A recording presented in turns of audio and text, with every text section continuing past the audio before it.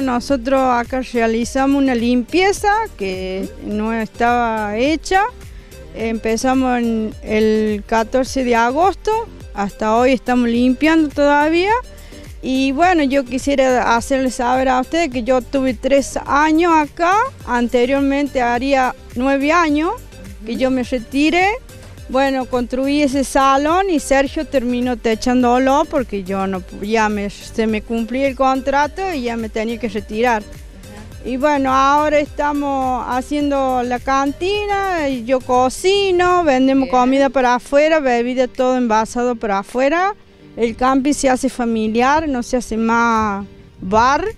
Así que ahora vamos a empezar a hacer la plazoleta para las carpas. Compramos con Milton Paddy Santillán 30 plantas de freno que se trajeron de la localidad de Oncativo y se han plantado acá en nuestro bañero de Rincón, porque lo estamos trabajando junto con él eh, a este bañario. O sea que nos dieron por cinco años ah, porque queremos realizar el sueño que yo tenía siempre, criada de Rincón. Muy bien.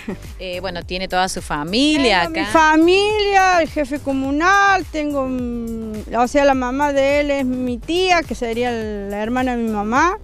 y una gran familia. Sí, los parte de los cabreros, somos todos familiares, así que nuestro pueblo es familiar prácticamente. Y antes de la pandemia, eh, el camping eh, se llenaba de gente, ¿no? Y bueno, es que yo, mira, te cuento la verdad, con la pandemia yo estuve un año y ocho meses guardada en mi casa en la calle 9 de julio.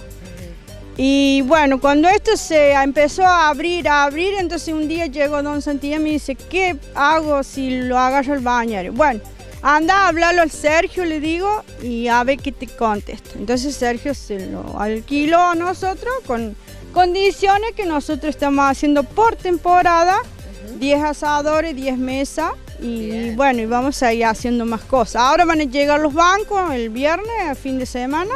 Quisimos hacer, así que lo queremos poner bien.